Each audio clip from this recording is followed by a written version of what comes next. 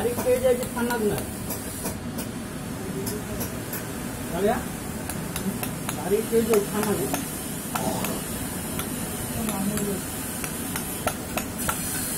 बहुत